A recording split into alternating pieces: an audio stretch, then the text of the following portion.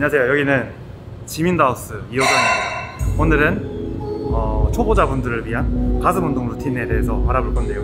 그래서 오늘 루틴은 가장 심플하고 가장 기본적인 운동에 대해서 알아볼 거예요. 가슴 운동할 때 가장 기본은 이 미는 방향을 다양하게 줘야 된다. 그래서 내가 윗가슴을 키우고 싶으면 위로 밀고 아랫가슴을 키우고 싶으면 아래로 밀면 된다. 그래서 오늘은 위로 하나 밀 거고 가운데로 하나 밀 거고 아래로 하나 밀 거고 맨 마지막에는 모으기 운동 이렇게 해서 총 네 가지 운동을 해보도록 하겠습니다. 그럼 첫 번째 운동 incline 프레스부터 시작해보도록 하겠습니다. incline 프레스를 할때 네. 이 등받이의 각도를 어느 정도로 음. 설정해야 되는지 고민이 좀 이거는 이제. 굉장히 개인의 차가 좀 있는데 이제 일반적으로는 어, 조금 낮게 하- 하는 걸 추천드려요. 이게 높아지면 높아질수록 어깨에 개입이 많아지기 때문에 낮아지면 낮아질수록 어깨가 조금 더 안정적이 됩니다. 근데 이제 정말 운동을 많이 하신 분들 중에 진짜 이 위쪽 가슴을 타겟팅하고 싶은 분들은 좀 많이 세워서 돼요. 근데 일반적인 룰은 15에서 30도 정도 기울여주는 게 국룰입니다.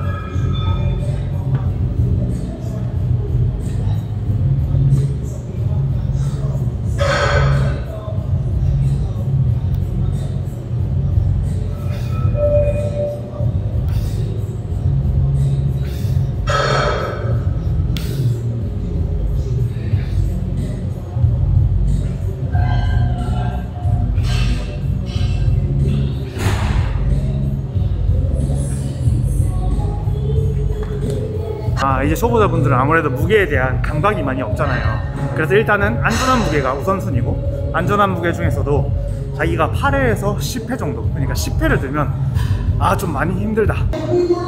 그리고 이거 또 인클라인 덤벨 할 때 사람들이 이거 어떻게 올리는지 잘 모르거든요. 그냥 눕는 게 아니고 한 발로 차 올리고 잡고 차 올리면서 눕고. 이렇게. 그리고 인클라인 할 때 천천히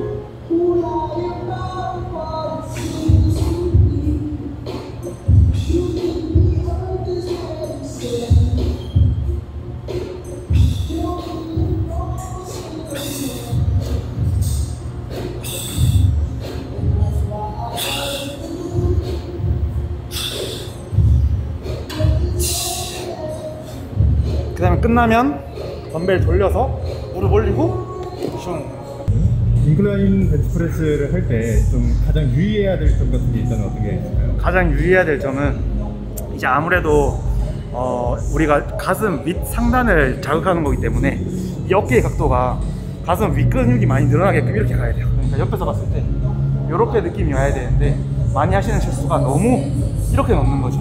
이렇게 하면 어깨가 안정적인 자세긴 한데 실제로는 윗가슴에 발달을 많이 못 얻어요. 그러니까 우리가 윗가슴을 이렇게 늘렸다가 이렇게 수축을 시켜야 되는데 이런 느낌으로 가야 되는데 이걸 내리면 내릴수록 약간 아래 가슴이 좀 더 많이 먹어서 결국에 인클라인의 효과를 못 본다. 그리고 인클라인 할 때 또 많이 하는 실수 중에 하나가 너무 하치를 과하게 만들어요. 이런 식으로 만들어서 하면 이건 사실 플랫 벤치랑 다를 바가 없어요. 그래서 incline 할 때는 좀 아치를 죽이고 약간 이런 식으로 진행해 주시면 좋습니다. 자, 두 번째 운동은 이제 chest 프레스 할 건데요. 근데 이 chest 프레스를 할 때 가장 초보자분들이 하셔야 될 거는 이 의자의 높이 설정을 가장 먼저 하셔야 돼요. 의자의 높이를 내가 가슴을 내렸을 때 이 젖꼭지 정도 올 정도 이렇게 올 정도에 가야 돼요. 근데 대부분 이런 식으로 많이 해요. 이런 식으로. 그러면 어깨가 많이 개입이 되거든요. 그래서 어깨가 많이 개입되기 때문에 이런 식으로는 하면 안 되고요. 의자를 내가 가슴 가슴 부위에서 이렇게 주먹이 나가는 느낌으로 할수 있게끔 올려주시고요. 프레스는 아무래도 미는 운동이고 그 다음에 가슴을 쭉 안으로 모아주는 운동이기 때문에 이런 기구를 할 때는 조금 더 수축에 집중해 주시는 게 좋아요. 자 여기서 수축, 집중, 수축, 집중, 셋, 셋, 여섯, 여섯, 일곱, 여덟, 아홉, 열. 초보자분들이 가장 신경 쓰셔야 될 거는 내가 첫 번째 첫 번째 할 때랑 마지막에 할 때랑 이 quality가 똑같아야 된다는 거. 이게 굉장히 중요합니다. 체스트 프레스의 장점 중에 하나는 어, 높이를 다양하게 설정할 수 있죠. 그래서 사실은 내가 아래에 내려서 이런 식으로도 할수 있지만 조금 위로 올려서 이런 식으로도 할수 있어요. 그래서 가슴에 굉장히 다양한 각도의 자극을 줄 수 있게 됩니다. 조금 이번에 올려서 해볼게요. 자, 보시면 지금 주먹이 제 약간 가슴 위쪽으로 왔죠? 근데 이거는 초보자분들이 좀 조심해서 해보고 하시면 좋습니다. 하나, 둘, 셋, 넷, 다섯, 여섯. 근데 주의해야 될 점은 어깨가 이렇게 올라가면 안 되고 어깨는 항상 이렇게 나- 낮춰주면서 어깨를 낮추게 해서 가슴 앞 가슴을 앞으로 내밀고 가슴을 안으로 모은다고 생각하고 하나, 둘, 셋, 넷, 다섯. 오케이. 이런 식으로 진행하시면 됩니다. 자, 저희가 첫 번째는 위로 미는 운동을 했고요. 두 번째로는 가운데로 미는 운동을 했고, 마지막은 아래로 미는 운동을 했고요.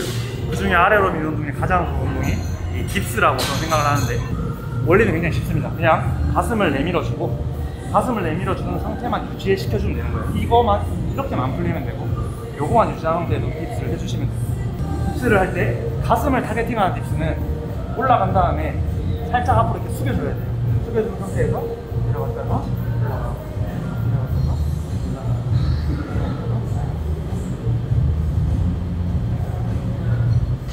근데 이게 처음에는 가동 범위가 이렇게 저처럼 다 안 나올 수도 있거든요. 그럼 자기가 움직일 수 있는 만큼만 움직이시면 되고 저 같은 경우는 이제 가동 범위가 나오기 때문에 쭉 다 내려갔다가 올라오고 내려갔다가 올라오고 근데 이제 딥스를 하실 때 대부분 많이 하시는 실수 중에 하나가 딥스를 이제 조금 하게 되면 이 횟수에 집착하게 돼요. 횟수에 집착하면 이런 식으로. 그래서 이런 식으로. 네, 요거는 다 반동을 이용해서 이렇게 퉁퉁퉁 튀기는 거라서 별로 가슴에 자극을 줄 수는 없습니다.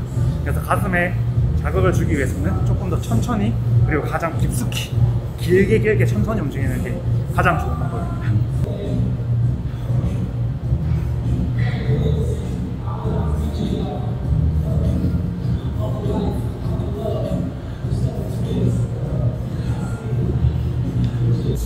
마지막은 케이블 플라이를 할 건데요. 케이블 플라이를 할때 어, 이 높이 설정이 굉장히 저는 중요하다고 생각해요. 자기가 타겟팅하는 부위가 어디냐에 따라서 이 높이 설정을 다르게 해야 되는데 어, 초보자분들은 그냥 이렇게 하시면 돼요. 초보자분들은 딱 내 머리 윗선, 눈높이 선에 케이블을 맞춘다고 생각하시면 가장 편해요. 그래서 우리가 왜 눈높이에 맞췄냐면 얘를 잡고 가슴이 이렇게 쭉 늘어난 상태에서 약간 사선 방향 아래로 내릴 거예요. 사선 방향 아래로 이런 식으로 내리고 쭉 이완시켜주고 사선 방향 아래로 내려주고 그때 팔꿈치는 살짝만 핀 상태고 웬만한 팔은 다 펴지는 게 좋아요. 만약에 가- 팔꿈치를 모은 상태에서 이런 식으로 진행하면 이건 프레스랑 다를 바가 없어요. 플라이를 하려면 팔꿈치를 피고 핀 상태에서 가슴을 쭉 늘렸다가 안으로 그리고 가슴은 항상 이렇게 앞으로 나가 있어야 돼요. 가슴은 항상 내밀고 안으로 내밀고 안으로 내밀고 케이블 플라이 같은 경우는 마무리 운동을 해주는 경우가 많기 때문에 조금 가볍게 해서 횟수를 많이 하시는 것도 좋아요. 뭐 예를 들면 아까 프레스 계열 같은 경우는 뭐 8회에서 12회 정도를 했다면 얘는 15에서 20회 정도를 해주는 게 맨 마지막에 약간 어, 에너지를 다 쓰고 끝낸다는 느낌으로 해주시면 좋을 것 같아요.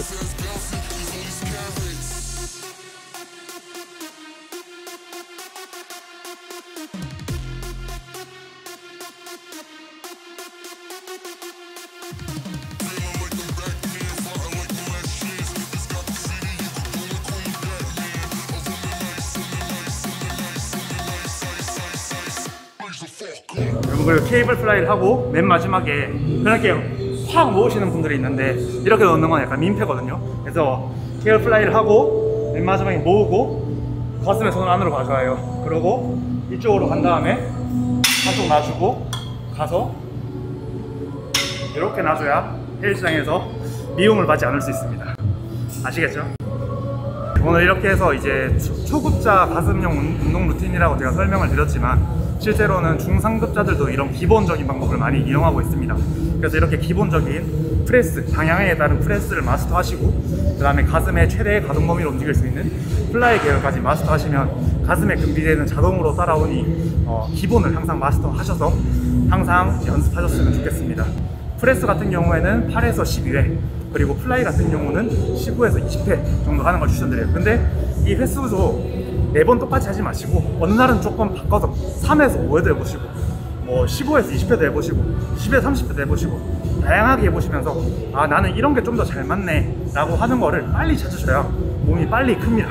그러니까 뭐가 정답이다 뭐가 아니다 라고 생각하지 마시고 다양하게 해보고 아 이게 나한테 맞았네. 라고 하는 거를 빨리 찾는 게 빨리 성장하는 길은 지름길입니다. 그래 그렇게 해서 오늘은 이제 초보자분들도 쉽게 따라할 수 있는 가슴 운동 루틴에 대해서 알아봤습니다. 이 시리즈에 반응이 좋으면 앞으로도 지속적으로 연재해 보도록 할 테니까 다음에 보고 싶은 영상이 있으면 어떤 부위 해주세요? 라고 적어주시면 제가 그 부위를 또 한번 촬영해 보도록 하겠습니다. 그러면 다음 영상에서 다시 만나요. 안녕